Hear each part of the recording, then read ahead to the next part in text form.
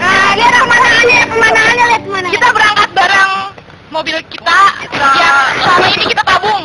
Hasil kerja keringat kita liatin. Udah cepetan. Mobilnya bodoh.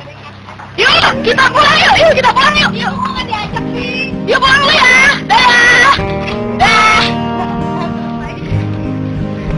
Ikutin terus ya, kita pagi teman-teman. Ikutin terus ya, kita ayo cepetan. Cari makanan yang makanan yang Ini rekam gak sih? Oh rekam ya? kuliner. Iya. Kuliner. Dua puluh ribu tiga. Nanti kan. With Fandi itu emang enak banget loh. Ayo ikutin kita terus.